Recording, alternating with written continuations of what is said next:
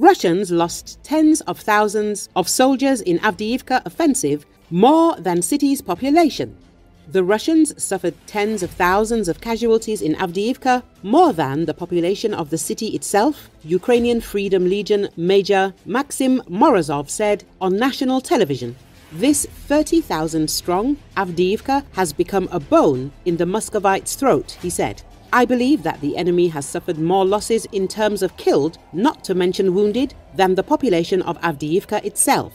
The city's population was 36,000 before the full-scale Russian invasion. Unfortunately, when the first attacks were repulsed, the enemy, thanks to its agents, realized a certain problem in the situation in the Avdiivka sector namely that there was a great shortage of artillery shells, a shortage of kamikaze drones, and a problem with infantry rotation. Morozov said, noting that the enemy is able to quickly restore the mobilization reserve.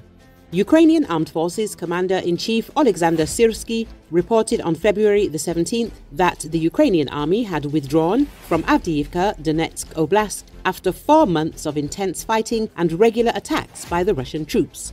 This decision was made to avoid encirclement and to save the lives and health of the soldiers. During the final stages of the battle for Avdiivka, Donetsk Oblast, hundreds of Ukrainian soldiers might have been captured by Russian forces, the New York Times reported, citing senior Western officials and Ukrainian military.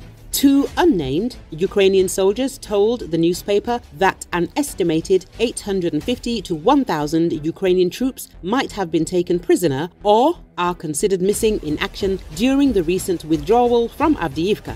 Western officials stated that these numbers seem accurate.